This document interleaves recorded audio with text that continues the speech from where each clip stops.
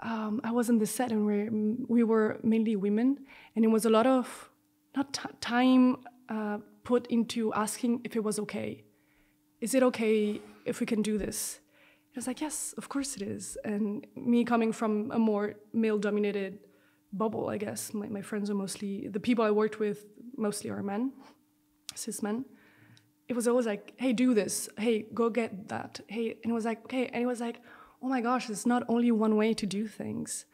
And there's not one best or one less good, just like there are alternatives. And it's just sad that we see over and over the same faces, over and over the same people making films, the same types of people making the same stuff, types of films.